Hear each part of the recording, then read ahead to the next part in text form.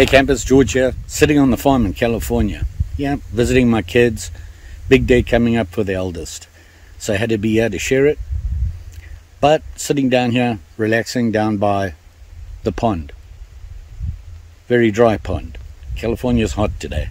But I found something in my pack that I packed when I flew out here. I forgot it was in there.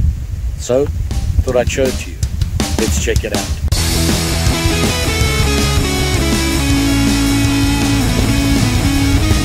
So now that the wind's picked up, I'll still show it to you. Here it is here. It's the Okapi. Biltong Since 1902. Made from stainless slash carbon steel. Yeah. You know where it's made? Let's see.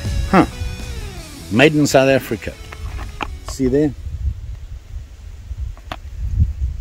Yeah, Okapi, biltong knife. Gotta tell you, to be honest, this is a sentimental buy for me. I love biltong. Not allowed to eat it anymore because, well, doctor's orders. Oh well, what do you do, huh? So I'm doing this one-handed, so bear with me here. It comes in a cool looking box. Well packaged. Let me get it out for you. Look at that. A thing of beauty. Biltong knife from Okapi, South Africa. Let me open it up. Hold on. Sheep's foot. See that?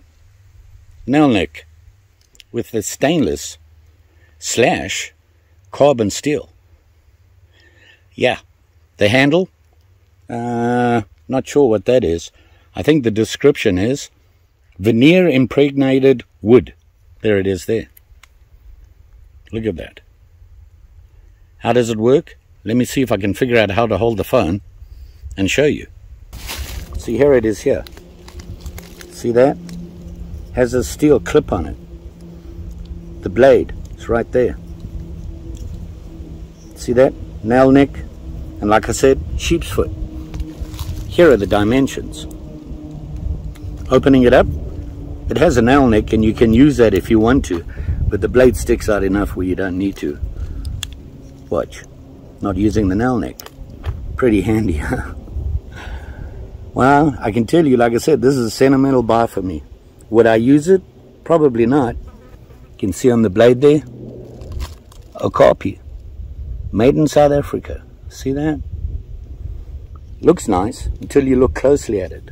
Check this out. Now there is some workmanship right there. That's going to need to be cleaned up. See the pin going through there? Huh. That can't be good. So I looked at the blade. See that little shiny piece there? Guess what that's from? When you close the blade,